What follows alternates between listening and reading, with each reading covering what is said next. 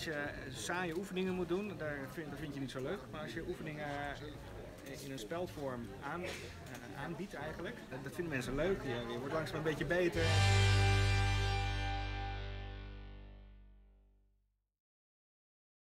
Uh, het, beetje het flauwe antwoord is, dat hangt er heel erg vanaf wat je doet. Hè? Dus welke praktijk we het over hebben.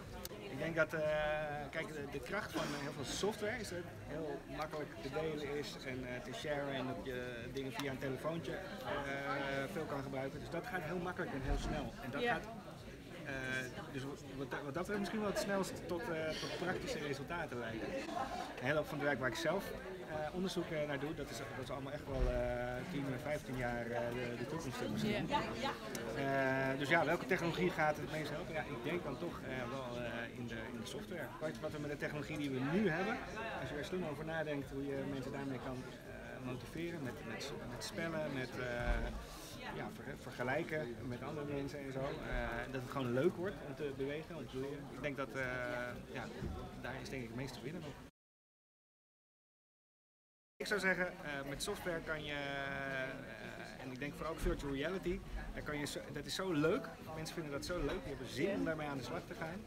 Iedereen voelt daar wel iets bij. Ik denk dat, dat daar heel veel te winnen is om mensen te motiveren en om daar een leuke, ja, soort van uitdagende en aantrekkelijke interactie met, met kunstmatige intelligentie of, of machines of robots te maken. Zeg maar, als je saaie oefeningen moet doen, daar vind, dat vind je niet zo leuk. Maar als je oefeningen in een spelvorm aan, uh, aanbiedt eigenlijk. Waarbij uh, ja, je misschien uh, met je hoofdbewegingen of met je armbewegingen of met iets wat er gedraind moet worden. Nou, een spelletje kan aansturen, een autootje kan besturen. hè, dus dat je, dat je er een computerspelletje van maakt. Ja. waarmee je dan, als je, dat vinden mensen leuk, je, je wordt langzaam een beetje beter, je komt naar het next level.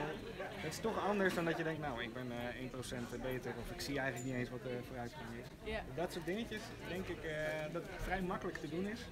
Nou, ik ben geen softwareontwikkelaar, dus misschien uh, zie ik het mis. Maar dat kan denk ik heel goed met de huidige technologie die we nu hebben.